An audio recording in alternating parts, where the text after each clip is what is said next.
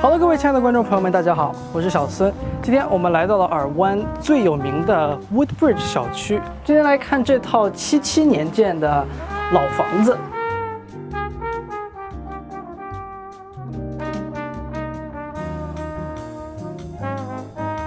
虽然这套房子稍微装修了一下，但是它还是保存了，呃，这种七七年房子的户型的格局。楼梯面对着大门。我们注重风水的朋友们一看到这个，应该觉得哎，这套房子不行。但是呢，在美国，大部分的这种户型，如果有楼梯的话，楼梯一般来讲都会是冲着大门的。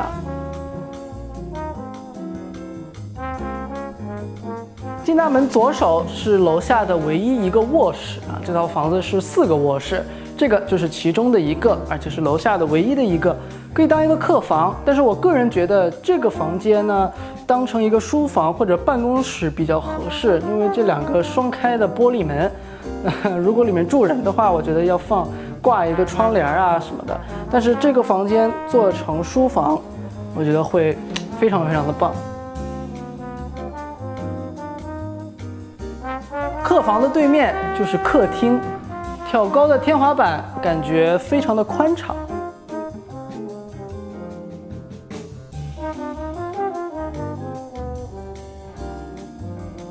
客厅角落里的窗户和家大门面对的方向呢，是一条比较忙碌的一条街。呃，上午、下午，像现在中午，尤其是呃上午上班的时候，还有下午呃学生放学的时候，会稍微的比较吵啊，来往的车辆会很多。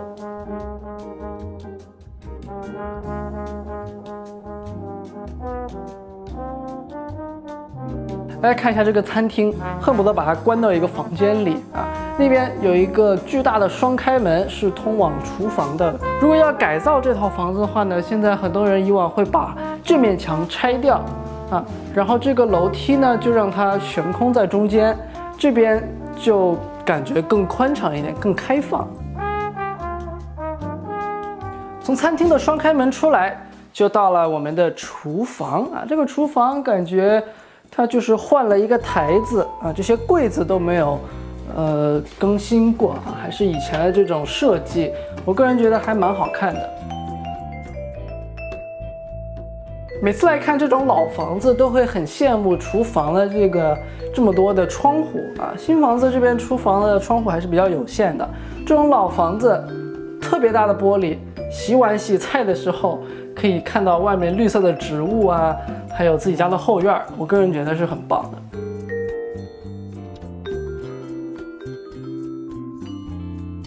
厨房的边上是另外一个客厅。如果我住这儿的话呢，我应该会把正式的餐厅搬到这边来啊。然后呢，现在餐厅的位置我可能会改成一个娱乐的一个一个空间，呃，放一个桌球台啊、乒乓球台什么的。啊，这就是我个人会，我刚才这么想的，怎么怎么利用这个空间？因为我觉得这里再放一个客厅吧，呃，用处不太大。啊，这个地方一进门那么大个客厅，为什么偏要坐在这个角落里来？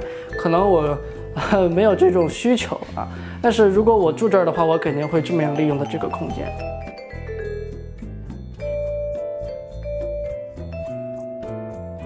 厨房和小客厅之间就是通向我们后院的玻璃门了。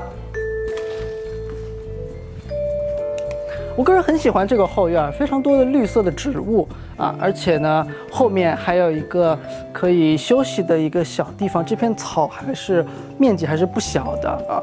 这里也有一个坐的地方，然后车库是在这里，我们一会儿去看一下。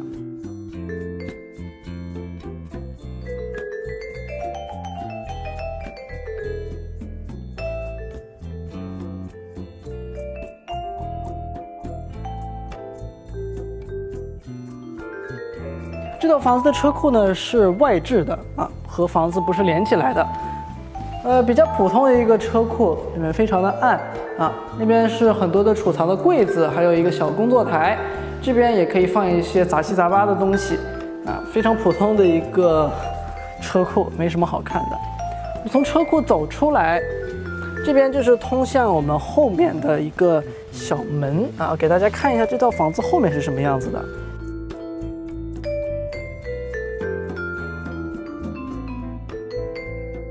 这条街上的房子呢，停车应该是我觉得应该是最大的一个呃头疼的地方，因为它房子前面。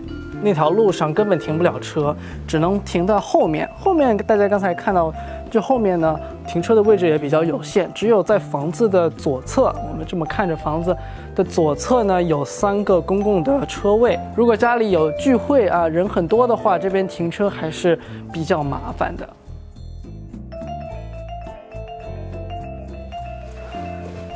看完后面，我们来看一下这个小的客厅边上是什么。我记得我在昨天的视频里说过，像这种老的房子很少有内置专门一个洗衣房的啊。这套和昨天看的那套年龄是一样的，都是 七七年的房子啊。我记得，反正都是七十年代三四十年前的房子，五十五十年前啊，七十年代五十年前的房子，这个就有一个 专门的洗衣房啊，不在车库里面的洗衣房。所以呢，呃，每天都会看到新的东西。洗衣房的对面，小衣柜。嗯，不是很懂这种，在这种地方为什么要放一个衣柜啊？你把它改成一个储藏室，我还理解。如果在加州有很明显的冬天啊，会下雪的话，我会理解这种衣柜，因为可以挂一些棉袄啊、外套啊，放些靴子什么的。但是像我们在加州，一年四季，一年只有两个季节。夏天和春天，或者夏天和秋天，啊，这种我个人觉得没什么必要。一般来讲，大家都会把它放一些什么拖把呀，一些清理清洁的一些东西。洗衣房隔壁是我们楼下唯一一个卫生间啊，里面有一个淋浴，没什么好看的，我们就不浪费时间了。一楼差不多就这样了，我们现在回到一进门楼梯这里，现在上二楼看一看。楼上明显比楼下暗啊！我们先看一下上楼左手的第一个房间，这是什么？这是一个卫生间，我刚才都没看到。小卫生间，隔壁就是我们楼上的第一个次卧。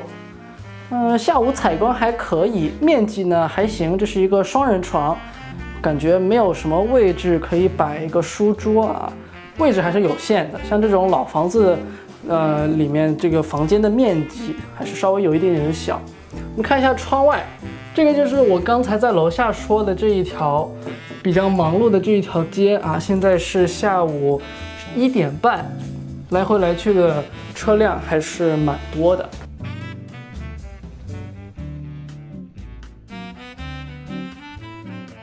从楼上的第一个房间出来，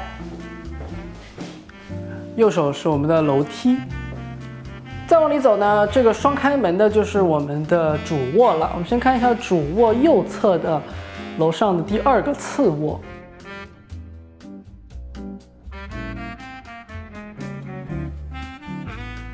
第二个次卧的面积感觉比刚才那个房间稍微小一点，而且窗户也没有那么多啊，这只有一个呃往这个房子侧面看的窗户，但是下午采光还是挺好的。那么最后，我们来到了这套房子的主卧啊，非常经典的双开门啊，像这种老房子，主卧进出的门一般都是双开门。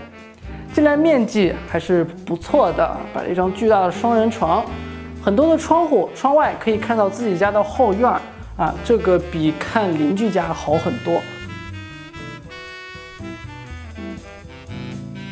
这个主卧唯一不好的一点呢，就是卫生间的镜子。是面对着床的啊，这里呢，我觉得如果我住的话，我肯定会在这里挂一个窗帘啊，或者挂一个什么东西，把挡住这个镜子和床之间的这个视线啊，要不然呃一风水不好，二起床感觉很别扭，一起来就看到自己啊。像这种老房子的卫生间啊，尤其是在主卧，一般来讲都没有门的。啊，分的不是很清楚，该分清楚的地方它不分得很清楚，不该分清楚的地方它分得清清楚楚的。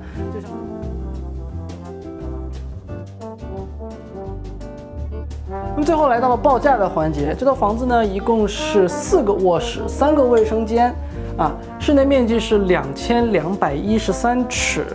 现在的要价是一百五十三万美元。好了，那我们这期的视频到此就结束了。如果大家喜欢这期视频的话，可以考虑点个赞，或者关注一下。有什么建议，请在评论区里留言。那我们下期再见，拜拜。